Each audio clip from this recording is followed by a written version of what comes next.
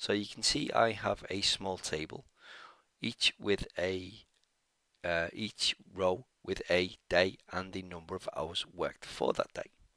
So let's say, for example, on Tuesday, you spent a couple of hours in the office and the rest of the hours you worked at another office or on site.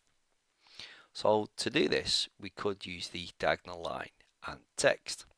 So what we need to do is if you right click on that cell and select format cells, let's move this pop up up.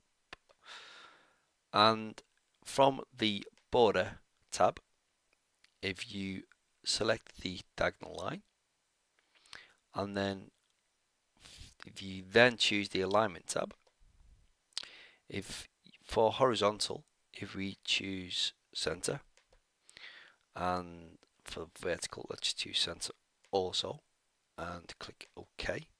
You can see it has now entered the diagonal line.